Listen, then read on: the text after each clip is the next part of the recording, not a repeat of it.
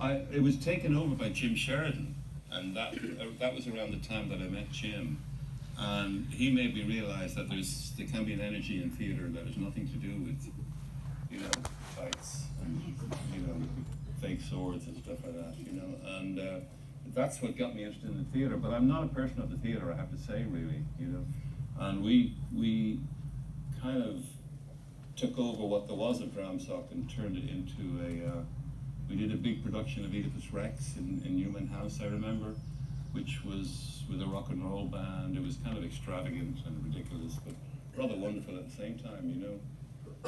But I think it's changed since then, and I don't, I don't mean to offend any, anybody, but you know, the idea of Cambridge lights, what is it called? Aqua?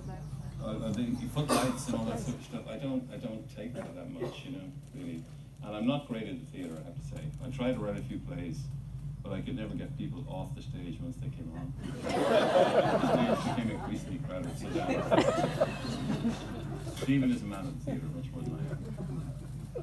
Yeah, I can get off the stage. Should we go?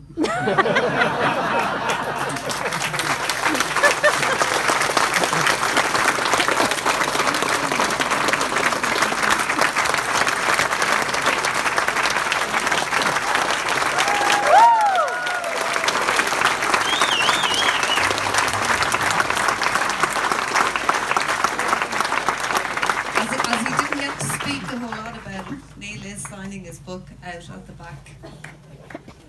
Thank you very much.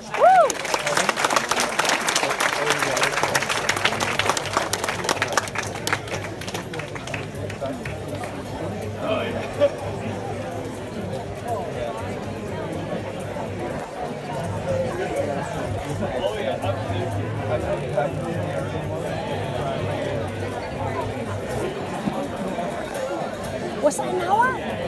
Seemed less. I want more, like more, more. No, it wasn't there because it didn't start Uh, the same. uh, okay, okay, okay. See, that's what I mean. Yeah, but well, it was great. Yeah, it was very well staged. So they had a good rapport. Yeah, they have a good rapport. Yeah. I mean, they're, they're good friends. Oh, they know. Obviously, they've got like loads. I'm sure they, they forgot a few films, but I can't think of any. So, but, yeah. Yeah, it'd be good if you made another. Hey? It'd be good if you made another. I'm sure it's good. He's gonna. Are you gonna buy the book or whatever? Maybe in time. I do I've want already, to. Uh, I've already hit my quota of books I buy. at Right. festival. Yeah, yeah, yeah.